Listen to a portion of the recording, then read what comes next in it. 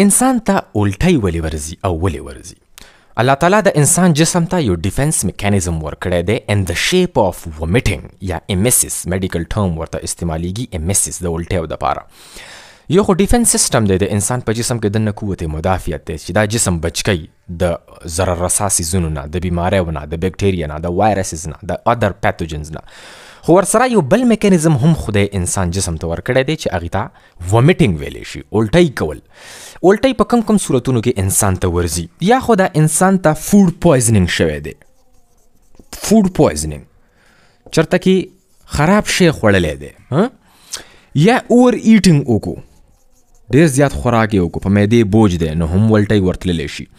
یا خاص قسم ته چرته کې سم میډیسنز نه یا ادر ډرګز نه انسان چې ګله په پیله ځل باندې نسوار اچي په پیله ځل باندې سیګریټ وغیره په پیله ځل باندې چرته شراب سکي نو هم دته الټي ورزي یا چرته کې چې انفیکشن شوی دی دنه په معده کې یا په جی آی ټریکټ کې دنه ګیسټرو انټسټاینل ټریکټ کې په دې پورا نلۍ کې چرته کې انفیکشن دی یا انفلیمیشن شوی دی نو د هغې د وجې هم انسان ته الټۍ ورځي یا چرته شارپ پین دی د سخت درد کې دا انسان مبتلا دی په ګردې درد رالو یا چرته د ګال بلیډر ولا درد دی یا نور ملا باندې درد دی یا په سر باندې شت سخت درد دی نو دا هغه شارپ پین د وجه هم د تا الټی ورزي د دې ټولو صورتونو کې انسان ته چانس چې انسان الټی وکي الټی ولې کوي دنه چې څومره هم کنټینټ پروت دی دا راایستل دي ځکه چې دماغ دا سنسیشن کوي چې دلته کې په دې معده کې یا په دې انټسټاین کې چرته پویزنز دي ټاکزینز دي او وباسه دا ټاکزینز بهر کا چې مزید ابزورپشن ونشي د دماغو دا پیله سټریټیجي وي چې دا دا خېټه خالی کا معده ته غلط شی راغلی دی چې دا وینې ته نور شامل نشي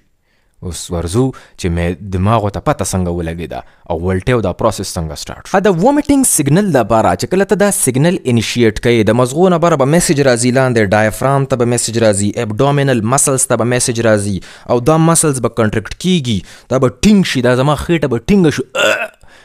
ولټه او دوران کې دا خېټه څومره سخته وي دا مسلز دا میسج څوک راوړي او د کم ځای نه راځي دا د دې ځای نه راځي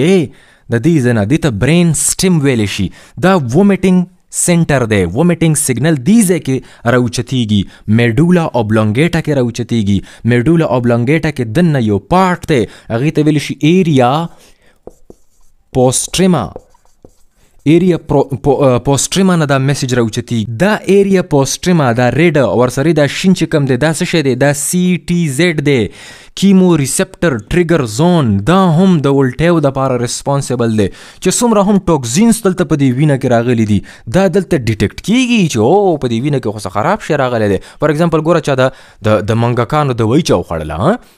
واده د تنه کوي تا بار بار ما ته واده ما ته واده اخیری دي د منګکانو د وی وخوړه اکثر داسې کیسونه کیږي یا د غنمو ګولای دی وخوړله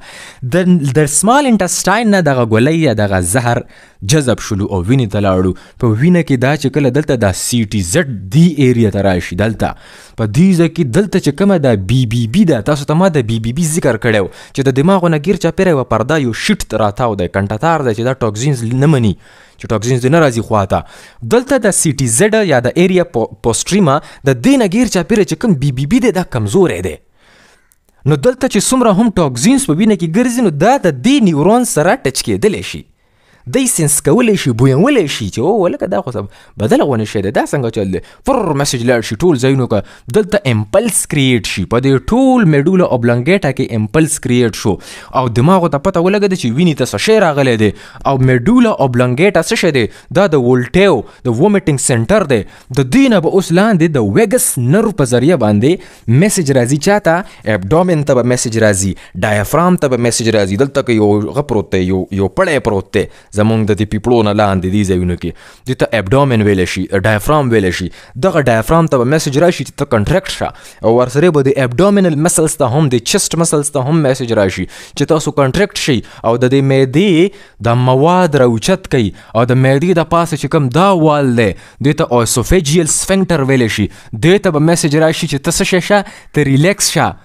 به ریلیکس شي کولاو به شي دا ځای چې دا مواد راوچت شي او دلته چې دا څومره مسلس پراته دي د چست والا دا کنټریکټ شو چې دا څنګه کنټریکټ شي نو د معدې دا مواد به راوخوتو انسان الټای ورشي انسان ته دا ټول میسج د دین رالو دا په هغه کیس کې چې کله انسان په وینه کې چرته کې زهر ګرځي یا چرته غلط شی خوړلې دی سخا خوراک کړی دی سالن خوړلې دی خو په سالن باندې ټیم تر شوی یا سخا ورجو خوړلې غورجو کې چرته کې د بیکټیریل ټاکسینز پروتو بکټریا په اټیک کړی او فنګل اټیک په شوی او هغه دغه وخوړل نو دلته به د دې سنسیشن کیږي چې په دې وینه کې څه ټاکسینز راغلي دي او وومیټینګ هغه سیګنل به سٹارټ شي او معدې نه به دا ټول مواد راوچت شي چې معدې نه مزید ابزورپشن لاندې ونشي دا پروټیکټیو میکانیزم دی ګوره دا فود پویزنینګ ګنده خوراک چې انسان کړی دی دا لاړ دی دلته معدې ته د معدې نه به لاندې کوز شوی دی نری کولمو ته د دې نری کولمو په دیوالونو باندې خاص قسم ته سلز پراته دي چې هغه ته انټیرو کرومیفین ویلی شي انټیرو کرومیفین سیلز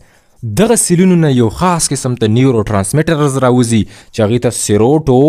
نین ویل شي دا نوم تاسو الریډي په مزغو کې الته اوریدل دي دا په مزغو کې هم سیکریټ کیږي خو دا دلته کې په کولمو کې هم سیکریټ کیږي ای ټولو نه زیات سیکریشن دا ګوره په انټریک نروس سیستم کې کیږي انسان کې دوه قسم ته مازغه دي یو دا مازغه دي او یو ګوره لاندې مازغه هم شته د ټول زمونږ ابډومن کې مازغه پراته دي دي کې نیورونز دي دي ته انټریک نرو سیستم ویل شي اټ از کولډ سیکنډ برین اف د هیومن باډي سیروټونین 90 ټو 95% سیروټونین چې کوم دي دا په انټریک نرو سیستم کې سیکریټ سیکریټ کیږي دغه سیروټونین چې کله راوځي نو دی دی دی کولمو ته د معدې ته پنکریاس ته د مزغونه یو رګ راغلی دی غټ رګ چې کوم دی هغه ته ویګس نرو ویل شي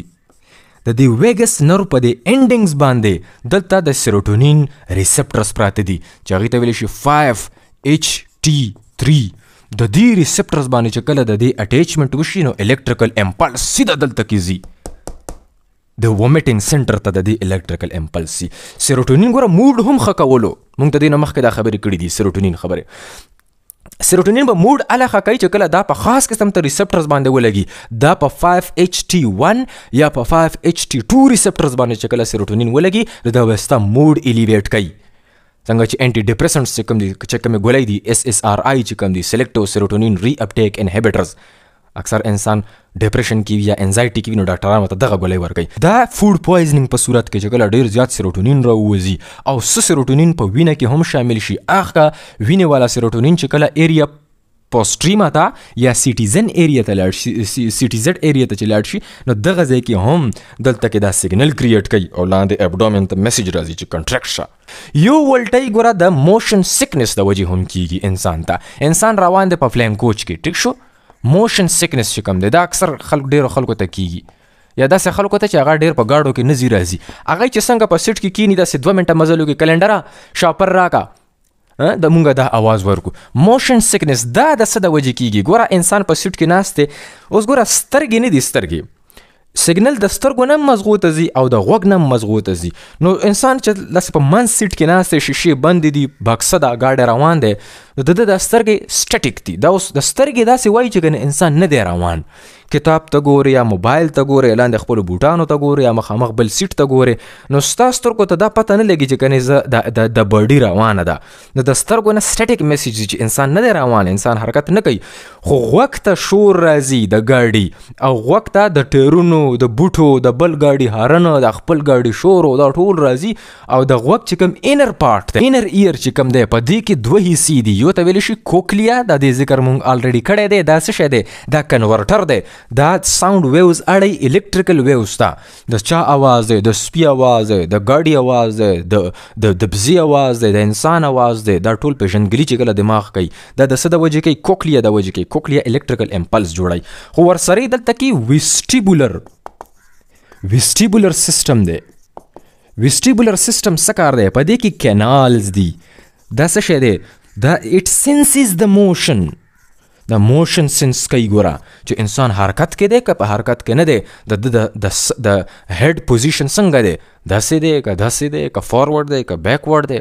د د د هډ پوزیشن دا ډیټیکشن کوي چې انسان سر خوځيږي که نه خوځيږي نو دی ورته سنسیشن ورکوي دماغ ته چې انسان حرکت کې دی د د د دینه د ویسټیبولر سیستم نه میسج زی دلته کې د انسان په د انر ایر کې نیوروټرانسمیټرز ریلیز کیږي چې هغه ته هیستامین ویل شي هیستامین او اسیټایل کولین دا چې کله ریلیز شي د دې د وجه الکتریکل امپلس کریټ کیږي او د غزي دماغ وته چې او انسان روان دی سترګې وته وای چې نه دی روان او غوګونه وته وای چې روان دی دلته کې کنفیوژن انساید د برین دماغ کنفیوز شي او د دخ کې کنفیوژن د وجه وومیټینګ سنټر اکټیویټ شي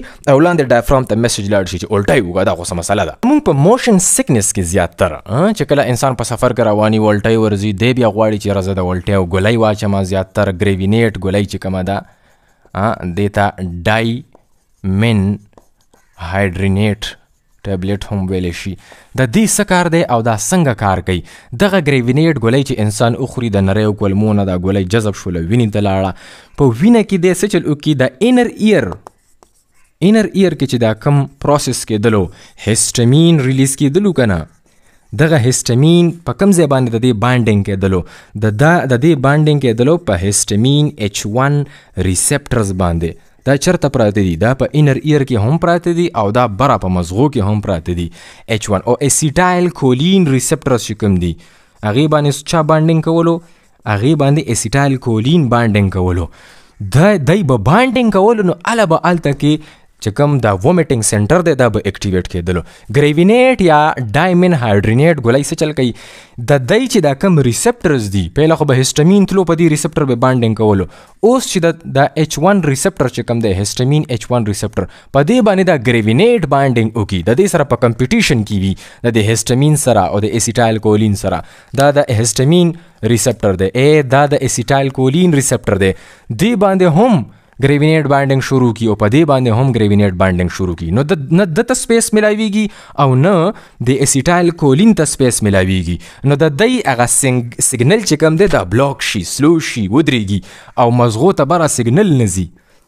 د وومیټینګ د پاره د ام بیلانس د پاره مزغو مزغو مزغو ته به دا پته نه لګي چې انسان ام بیلانس دی حرکت کې دی اوس یو انسان په ډیر سخت درد کې مبتلا دی ها شار پین دی واته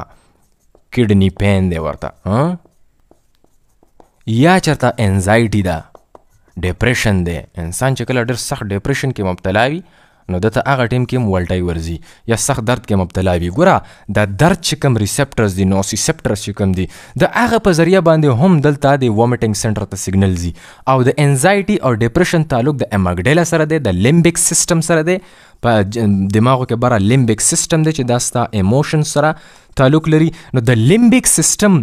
کنیکشن هم دلته کې لاندې میډولا اوبلانګیټا سره شته دی دلته د برین سټیم سره د دې تعلق دی او د ولټیو سیګنل رو رو ورکوي دا دلته کې لاندې او کنټرکشن کیږي چې کله انسان ډیر سخت پریشان وي دا ډیر پروټیکټیو میکانیزم دی او د دې لپاره دلته چې دا کم اسوفیجل سفنکټر دی دا به ریلیکس کیږي دلته مونږ چې کله نوړی تیرو غپ تیرو خو روټي خورم ازادي ځبانه دا روانه ده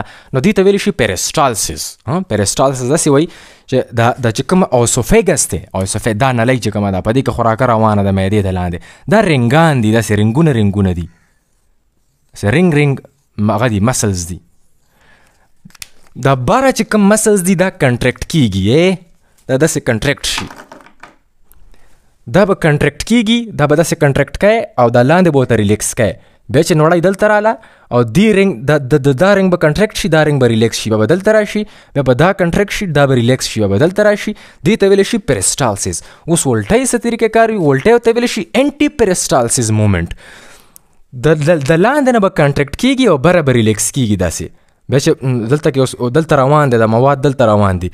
نو دا رنګ دا به کنټریکټ شي دا به کولاو شي به بدلته راشي به دا کنټریکټ شي دا به کولاو شي بدلته په دې طریقه الټه به روان وي دته ویل شي انټي پرستالسیس مومنت نو سیدا وومیټینګ یا امیسس چې کوم دی دا پروټیکشن دی دا جسم بچ کوي چې ویني ته نور مواد لاندې لاړ نشي چې دا معده را صفا شي او چې کله ډیر انټنس ولټي وي دا د کولمونه هم مواد راوباسي چې دا هم راوچت شي چې بهر وبز وغورځو نو ثانک یو ویری مچ سبا به ورځو ان شاء الله په بل ټاپک باندې کلم چې زما شاته دا بورډ بدل شي پوه شو چې زما زه بدل دی زه کلی تر غلم مهرباني